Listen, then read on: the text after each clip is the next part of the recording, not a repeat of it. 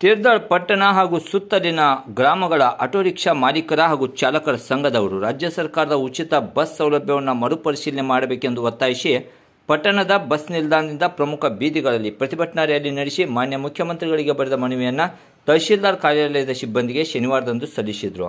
ಈ ಸಂದರ್ಭದಲ್ಲಿ ಕೆಲ ಚಾಲಕರು ಮಾತನಾಡಿ ಆಟೋಗಳ ಮೂಲಕ ಸಾರ್ವಜನಿಕರಿಗೆ ಪ್ರಾಮಾಣಿಕ ಸೇವೆ ಸಲ್ಲಿಸುತ್ತಾ ಬಂದ ಅಲ್ಪ ಸ್ವಲ್ಪ ಆದಾಯದಲ್ಲಿ ನಾವು ಉಪಜೀವನ ಸಾಗಿಸುತ್ತಿದ್ದೇವೆ.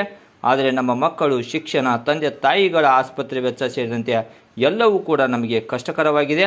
ಕಾರಣ ಶಕ್ತಿ ಯೋಜನೆಯನ್ನು ಪರಾಮರ್ಶಿಸಿ ಸೂಕ್ತ ನಿರ್ಧಾರ ತೆಗೆದುಕೊಳ್ಳಬೇಕು ಆಟೋ ಚಾಲಕರಿಗೆ ಹಾಗೂ ಮಾಲೀಕರಿಗೆ ಮುಖ್ಯಮಂತ್ರಿಗಳು ಯಾವುದಾದರೂ ಬದುಕಿಗೆ ಆಧಾರವಾಗುವಂತೆ ಸಹಾಯ ಸಲ್ಲಿಸಬೇಕೆಂದು ಒತ್ತಾಯಿಸಿದರು.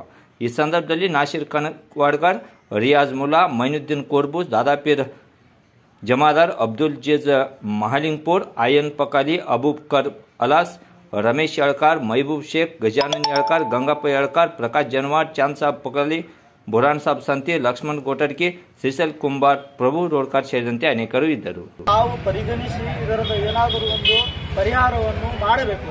ಇಲ್ಲವಾದರೆ ಇದನ್ನು ಹೋರಾಟ ನಾವು ಬೃಹತ್ ಪ್ರತಿಭಟನೆಯನ್ನಾಗಿ ಬೆಂಗಳೂರು ವಿಧಾನಸೌಧದಿಂದ ಉಪವಾಸ ಕುರಿತು ನಾವು ಮಾಡ್ತಿರ್ತಕ್ಕಂಥ ಮಾತನ್ನು ಇವತ್ತಿನ ಯಾರೂ ಇದ್ದವ್ರು ಇಲ್ಲಿ ಯಾರು ಇಲ್ಲ ರೀ.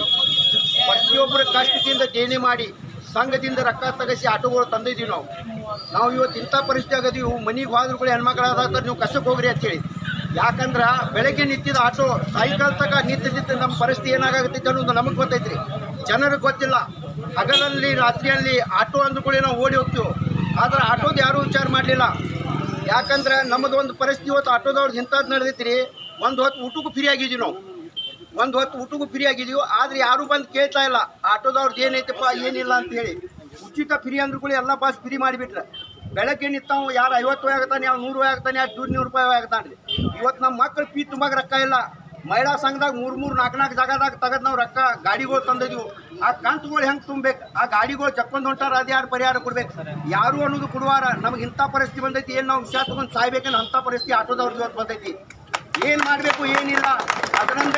ಪರಿಹಾರ ಕೊಡ್ತೀರಿ, ಅದ್ರ ಮೇಲೆ ನಾವು ಡಿಸಿಷನ್ ಮಾಡ್ತೀವಿ. ಇಲ್ಲಾಂದರೆ ಇದು ಹೋರಾಟ ಏನೈತಿ, ನಾವು ಸಾಯಿ ತನಕ ಎಲ್ಲ ಆಟೋದವ್ರು ಮಾಡ್ತೀವಿ ಅಂತ ನಾನು ಕೇಳ್ಕೊತಿದ್ದೀನಿ.